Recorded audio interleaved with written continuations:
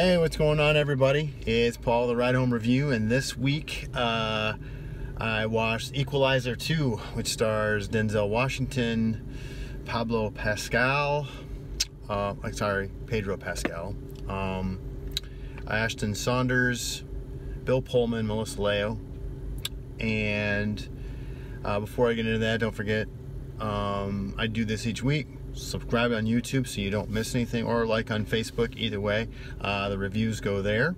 Um, and so, and also the Anchor, the podcast. So check that out as well. Um, sorry, uh, getting into it. Um, basically, Equalizer 2 reprise uh, Denzel Washington reprises his role of Robert McCall, a CIA operative thought dead. Um, and this time around, his past catches up to him, and not in a good way. And so I'm going to leave it at that. Uh, there's other things here and there, but I'm going to leave it at that for a synopsis of this film. Um, because as a former CIA operative, you're going to have some uh, some secrets.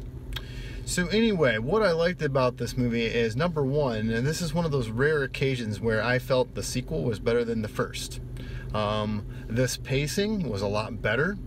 Um, uh, I really enjoy how they treat the first act with showing the random acts of kindness.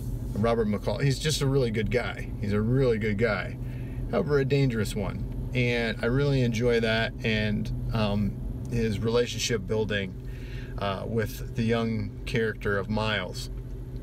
Um, there's a really great scene in the movie with with both of them. Uh, and you know, and Melissa Leo and, uh, and, Bill Pullman reprise their roles as his friends from his past. And so, um, I really, I don't know, this one was so so good, um, and I really enjoyed the flow uh, and and just the interaction. Um, Denzel Washington is a badass um, and mate and kicks it up a notch even more so.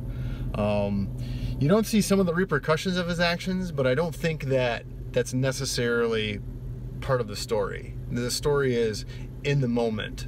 This is in the moment, and so you're catching it as it happens. And so um, forget about what comes after because this is what's going going to go through. So I just thought that they, they just did a wonderful job of introducing characters, uh, going through the flow. Um, like I said, the pacing was a lot better um, in this one, and it wasn't as cliche. Well, I suppose you could think of it that way, but it's just interesting. This is just an interesting character uh, of Robert McCall, a man of mystery in so many so many ways, but at the same time is just an engaging, friendly smiling character. Um, and that's what he has two sides of the coin. What if I had any type of gripe about this film? It would have to be about the impetus. Uh, I don't think enough emphasis was put on the acceleration to get the true antagonists into the scene and into. I mean, it just was a little confusing in some way, shape, or form of how it all really connected at the at the start. It was just not enough backstory in that regard. But uh, what to watch for? Um, number one is the overarching weather theme and how that goes along with the story arc of what's going to be happening. Um, I, you know, just listen for that. Uh, and also, number two, the scene where he was attacked in the car is by far one of the most insane car scenes I have ever seen um, in a film. Uh, just you'll know when it comes up. So there you have it. Equalizer 2 in theaters now.